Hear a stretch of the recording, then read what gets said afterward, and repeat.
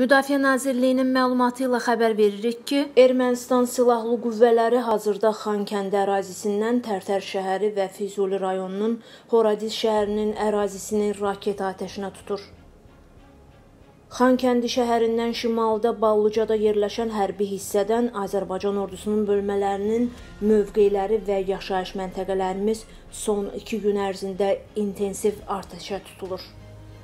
Beynəlxalq təşkilatların nümayəndəlikləri vasitəsilə düşmənə bir neçə dəfə xəbərdarlıq edilməsinə baxmayaraq bu hələ də davam edir.